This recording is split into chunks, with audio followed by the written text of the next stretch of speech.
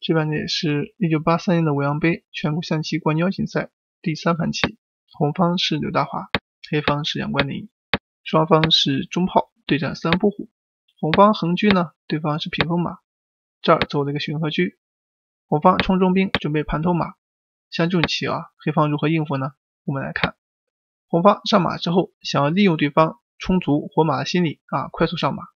黑方这个棋可以选择是马西六，看似好像一串啊是子，其实呢马六进七，那么你要这里啊去吃的话，他就冲过来抓你炮，而且黑方还占优了，所以这个棋红方也只能交换，那么黑方就会踩掉，将来挂角或者是踩马骚扰，那这儿的话这个棋你也不能过兵，过兵他一飞象把车拿出来你也受不了，只能抓逼对方交换，换完之后呢，这个棋黑方此时可以进卒骗对方。如果你这里一吃啊，他将来飞象抓炮，步步先手，利用你。所以这个时候你要定位啊，你炮进一步，人家就上马，将来踩马还有进卒踩炮的手段。所以这个棋你也只能选择退回，看住自己的马。黑方只管飞象就可以了。你这一冲，他这一吃啊，你这还不能保。你一保的话，他一打车啊，你这一闪开之后，瞬间打向抽车。所以黑方这个棋啊，马七进六，看似被对方牵制，实际上是一步好棋。临场的话，马七进八，那这是一个常规思维啊，就是说把你车封住，看似没有问题，实则呢中了飞刀。这兵五进一冲啊，这儿的话隔断你有炮，现在兵三进强行渡过去要吃你马，黑方也只好选择上来踩车啊，希望对方一吃冲过来，将来进炮打车，但是你来不及，红方先出车，等你再出车准备打的时候，他就把你压住了，所以这你拿不起来啊，所以这个棋肯定不行。那么对方看似放中间啊，初学者往往上马，这儿打一将啊，就可以呢进行一个吃子。但其实呢，这个棋啊，人家不上马，红方这个棋可以考虑兵五进硬冲你，你打掉这棋徒劳，红方只管上马卧槽占优。那么此时你要是踩掉，他打掉你，准备先切后取啊，他这个炮一走，你可以吃马出车，但他不走，他进车一保，这个棋走下去呀，很明显是红方占优啊，多子。所以呢，黑方这个棋放中炮是不行的。那么眼看这个棋啊，打车又打不到，只好先选择一步啊，停下来。到这儿啊，红方以退为进，很精妙呀，就是要踩卒吃马吃炮。所以眼看要狮子，对方索性把中炮给踩了。踩完之后呢，这个棋吃了炮，对方要闪，然后呢平兵挡住。这儿对方飞象以后啊，这里红方他想吃这个卒，所以呢进车去保兵了。那这棋啊，应该直接选择兵往下冲。可能啊，去有先手。你这里一保之后啊，结果呢，把自己给牵住了。黑方这时候保住这个卒不丢，红方上马要去卧槽，这边有三个子压力比较大，所以黑方可以考虑对一个车就稳了。因为对方这个棋他无非就上马，但是你卧槽他可以出去没有用，所以你会选择下兵去对。黑方当然是对，对完之后将来把这个马放活。那这儿你吃他可以退没有用啊，你吃一个卒之后，他这儿将来上马还可以踩你。你这一走，他足以出马活了，所以这个局面啊，你想困他其实是困不住的啊。黑方这个棋呢，兵种好，反而好下，所以呢，这个棋应该换掉一个车，减轻压力比较好。既然红方给了黑方机会，黑方却也没有抓住，而是就平七继续纠缠。那么你纠缠的话，他这有双车马三个子，始终是有风险的。红方就切入了，黑方此时炮四平二，这儿的话红方就往里点，准备上马就要杀棋，这棋很凶呀。那么这里啊，黑方赶快平车解围。如果你不平车解围，他将来这个马往里一填呀，将来车到底下硬吃你的车就要杀你。所以卧槽马太厉害。这儿他只要推炮一打车就可以解围。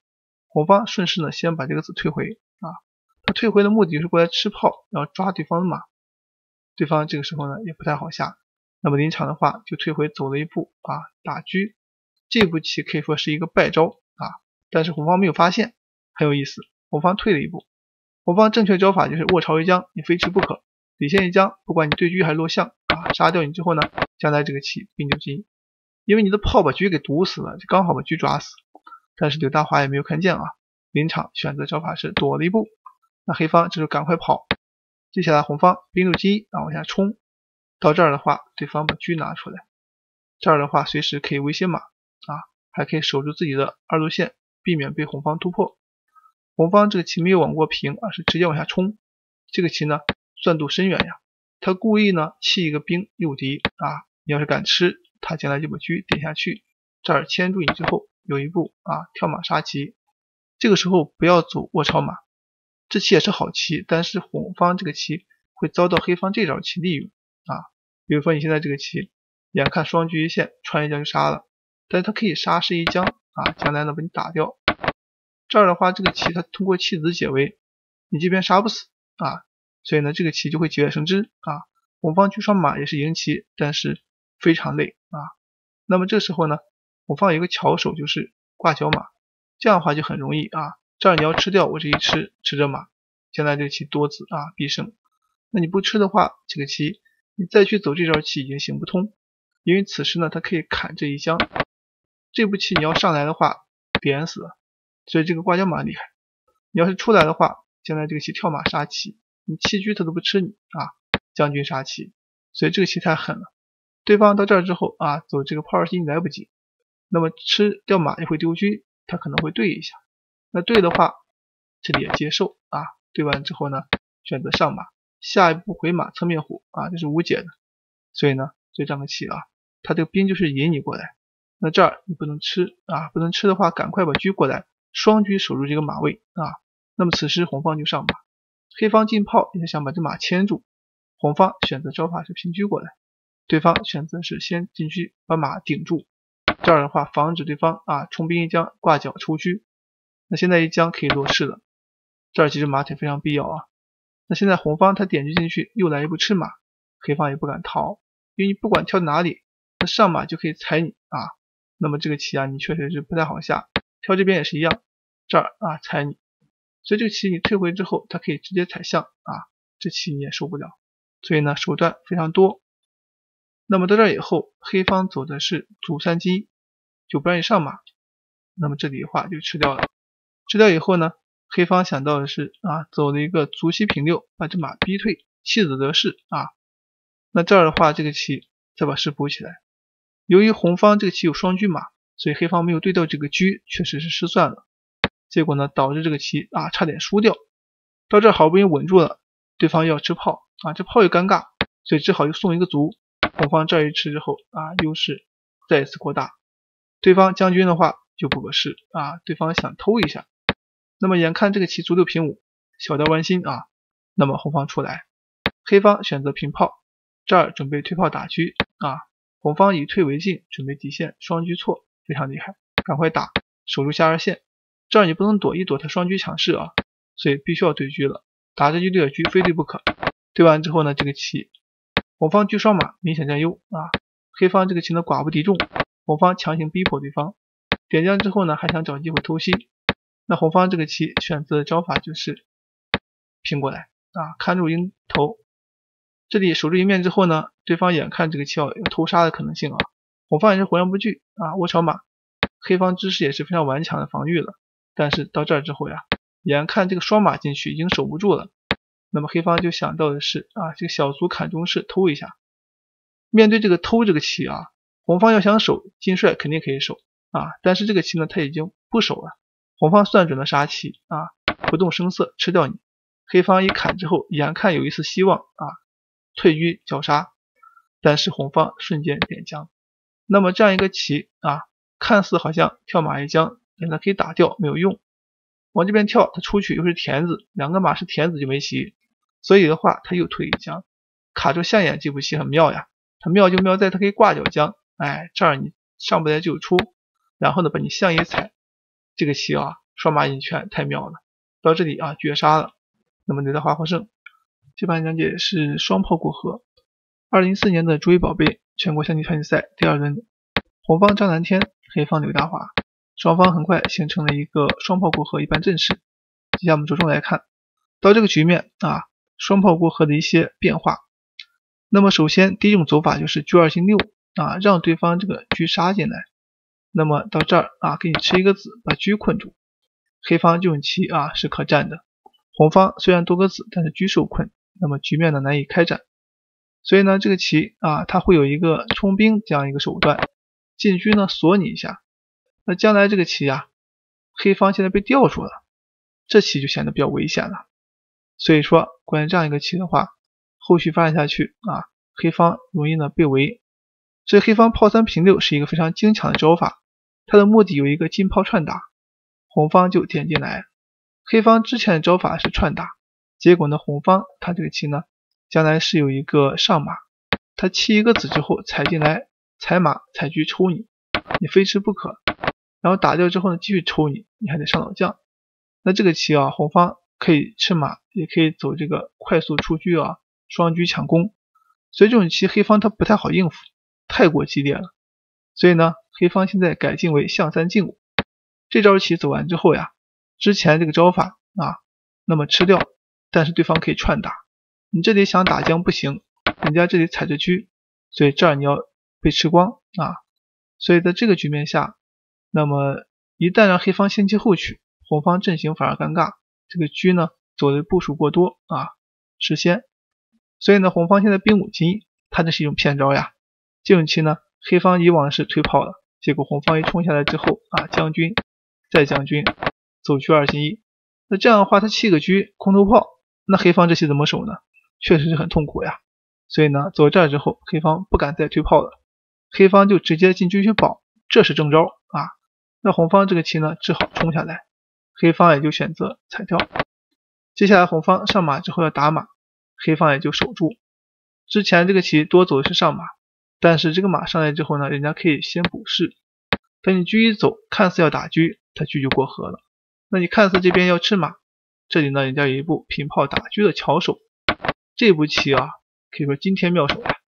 这儿打完之后呢，打着车你就有闪，把马一吃啊。黑方得子，所以红方现在这个棋呢，他多走的是车二进二。那这样的话，黑方可以考虑补士，先把车赶走，对方也就退回了啊。到这你这个车进而复退，肯定是先啊。接下来这棋呢，黑方就上马。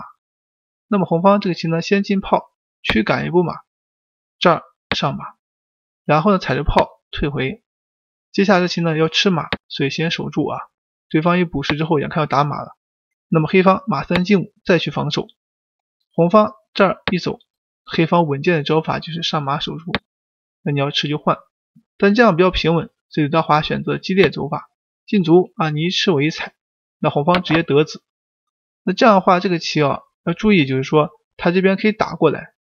那么临场的话，这个棋他就先把这个马吃掉，把车调过来之后再去打，这样你这个炮一打，这边就要吃子。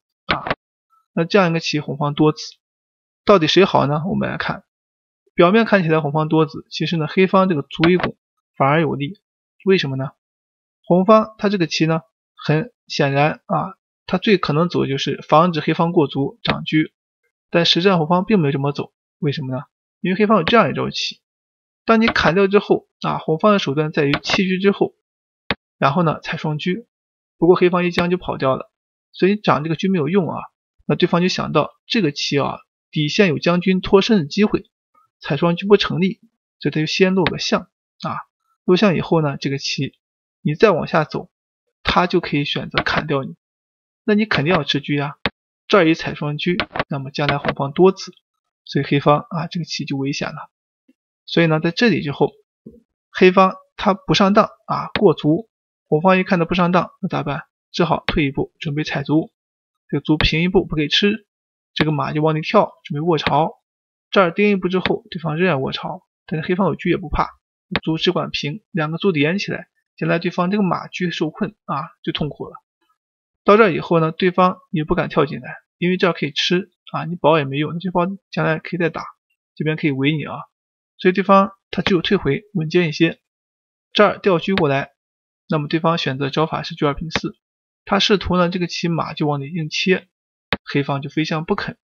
那你吃炮，人家可以下卒没有用。这儿选择招法是落士，担心将来拱马，所以呢准备推窝心马逃跑。这个时候呢，黑方走了一步以退为进。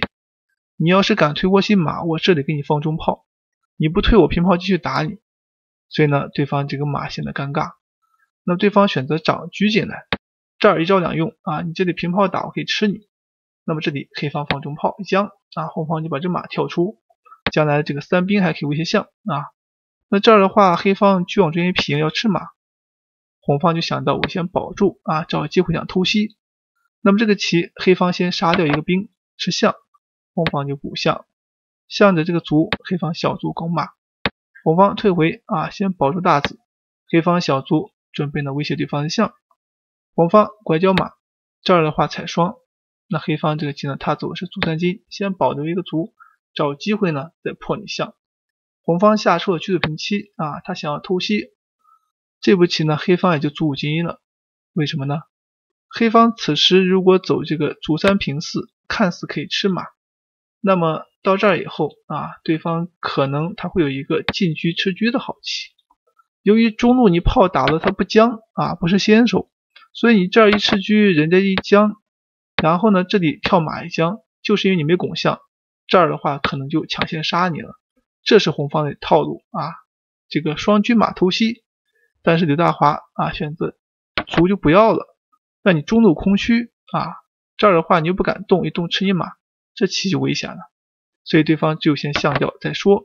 黑方小卒这一次来逼马，对方补士也是想继续贯彻骗术啊，这儿一走之后呢，红方进车吃车，继续想贯彻，你吃掉之后，我这里将军杀棋啊，就是车先一将。然后跳马这里啊，又一个杀招。到这儿以后，我们来看啊，那现在这个棋，你现在吃车还不敢吃，不吃将死，一吃的话，这个车没了，怎么办呢？眼看这条吃车，那么黑方下出了一个妙手啊，弃车，太妙了。这棋你不管落士还是象掉，都是一样的结果。他这个时候一吃，你动不了呀。那等你再去能动的时候，他车又放中间了。这个时候你马一走，肯定没棋了。他把象一破，车炮卒杀你了。对方一看大势已去，只好投子认负，刘大哈获胜。